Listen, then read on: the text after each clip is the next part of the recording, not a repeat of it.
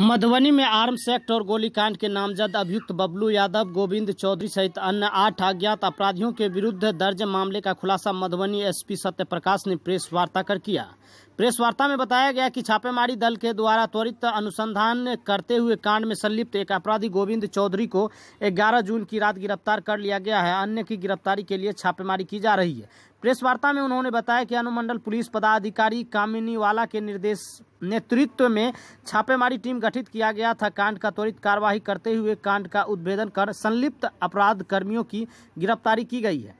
दरअसल, बीते दिनों गोविंद चौधरी और उनके साथियों ने स्कॉर्पियो पर सवार होकर अंधाधुन गोली फायर की थी, जिसमें स्थानीय अर्जुन कुमार गंभीर रूप से घायल हो गया था।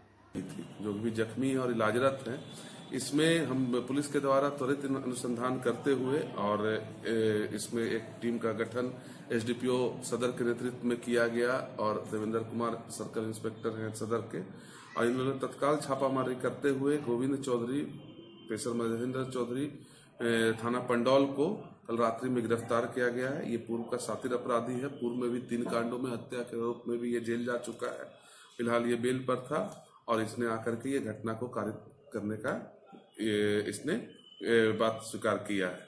इसमें जो जितने भी सभी पुलिसकर्मी हैं, उन लोगों को हम लोग इसमें सबको रिवार्ड किया जाएगा और इस तरह की सभी घटनाओं को रोकने के लिए हम लोग त्वरित कार्रवाई हो। इसके लिए अब हम लोग चौकस बरतते हुए जितना भी इस तरह के घटनाएँ हो रही हैं या पूर्व में घटित हुई हैं, सब में एक टीम का गठन किया गया है।